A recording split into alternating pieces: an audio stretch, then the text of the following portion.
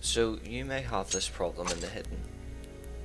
And if you try to connect to a server that uses custom maps, for example like this, the luxury beta, or physics, or manufacture, any map that isn't any of these, it comes up, you have a missing map, but all your friends seem to download it, and you don't know what's wrong. Well, if you go into the options, and if you go into keyboard, and if you go into advanced, if you tick enable developer console, and then open it, you will have to put in a code.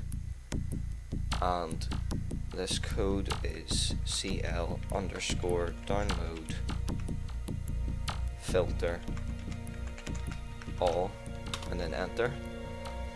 I think you have to do this every time you open up the hidden because it hasn't seemed to didn't really seem to save for me. But um I will show you it in a text document. Right so in the text document there is the code. You just type it in as it is and then hit enter. Then blah blah blah fix the problem. If not seek help from the forums page on steam or visit the website here.